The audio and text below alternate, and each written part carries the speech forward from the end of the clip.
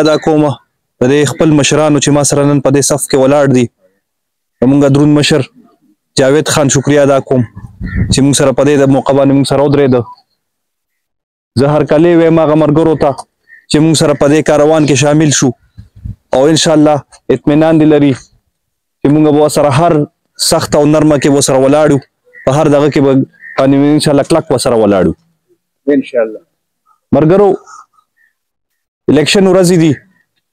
هر سړی راځي خپل منشور خپل دغه وي او زه نن مونږ دلته چې راغلي وو اټ فرورۍ دپاره زمونږ ساده منشور دی جي قومي وطن پارټۍ پلیټ فارم نه الیکشن لړاو مشر خان دی جي افتاب احمد خان شیرپو صاحب او زه زمونږ د پارټۍ منشور ساده دی جي صرف او صرف خدمت الحمدلله زه فخر سره نن ولاړې مو دا خبره کول شم جی چې دلته چې کم کارونه شوی بنیادی هغه صرف او صرف افتاب خان کړی قومي وطن پارټي کړی دی جی کاغه د ګیس په شکل کې کا هسپتال په شکل کې کاغه د ډیم په شکل کې کا هغه نور استونزې دي د تحصیل شپ قدر چې سو نم دی کاغه دوابه دا مټه دا شب قدر کلی دی پچیس دهات دی دلته ټول هر څه زیات تر بنیادي شوزونه چې دي هغه زموږ پاټۍ کړي دي جی زه بیا هم دا خبره کوم چې یاره لس کاله چې دا کم حل تیر شو زموږ په دې تحصیل شب قدر باندې کاغه مټه دا او کدا پچیس دهات خاص کر دا کم هدو ابا کې د بجلی په دغه باندې نو هغه د برداشت قابل نه دی جی نور تاسو ګورئ جی چې کله نه افتاب خان اقتدار نه تلی دی جی تاسو د تحصیل شپ قدر غوند د د حل تو ګورئ جی مخکې هم دغه بجلی وا د قشان ته دی چې وای چې کونډی دی فلان کې دی ډنګره دی مخکې هم دا شزونه مخکې ولی بیا بجلی وا دسه بد حل نو چې دا کم اوست جی دې کې غټه خبره بنیته دي جی او دا سیاسي خلکو کار څه دی د سیاسي خلکو کار دا دی جی چې حکومت او عوام په یو پیج په یو دغه تر وستل دي جی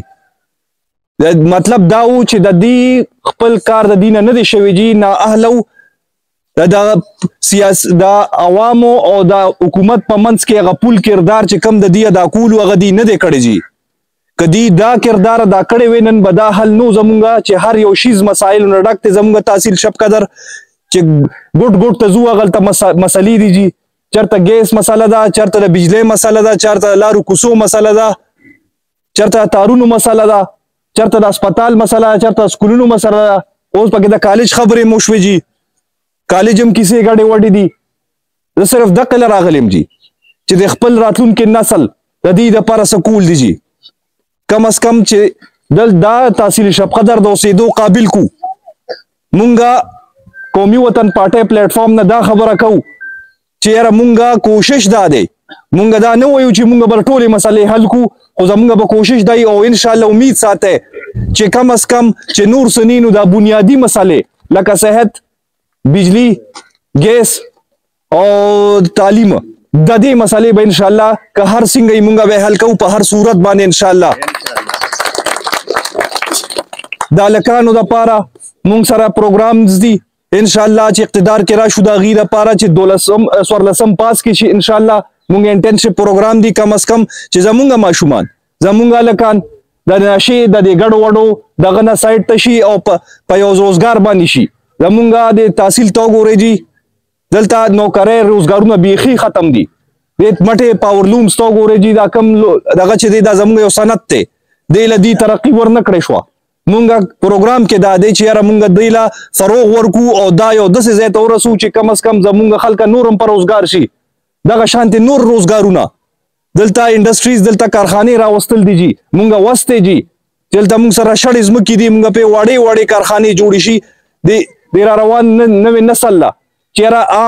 قرضې وته اسان شي چیرې ځان له کاروبارونه شروع کی مونږ دې باندې پوره پروګرام دی ان شاء الله خدای غي د پاره زه دا مونږ دا مطالبه چې تاسو مونږ سره کلا کودريږي ان شاء الله نو اله به مونږ د قوم خدمت وکړي شو او تاسو زموږ په کاروان کې ان شاء الله به مونږ سره اوګه په اوګه ولاړی چې د قوم خدمت وکړي شو ډیر مننه جی الله رحمت پی ټی آی نه